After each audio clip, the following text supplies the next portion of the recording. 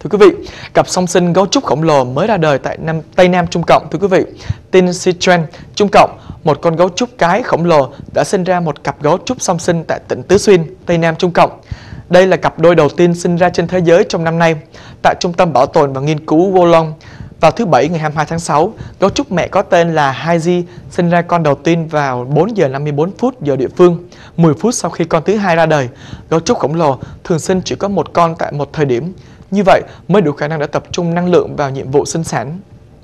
Theo Tân Hoa xã cho biết, Haji mang thai vào khoảng thời gian tháng 3 và bắt đầu có các biểu hiện sinh vào cuối tháng này. Được coi là một kho báu quốc gia, gấu trúc đã trở lại với cuộc sống đời thường từ bờ vực của sự tuyệt chủng. Tuy vậy, hiện nay mạng sống của gấu trúc vẫn bị đe dọa do việc khai thác gỗ hoặc nông nghiệp xâm lấn đất rừng, làm gấu trúc mất thức ăn và đất sống. Ước tính có khoảng 1.600 con sống hoang dã ở Trung Cộng, gần như tất cả ở Tứ Xuyên. Khoảng 300 con được nuôi trong điều kiện nuôi nhốt trên toàn thế giới, phần lớn là tại Trung Cộng thưa quý vị.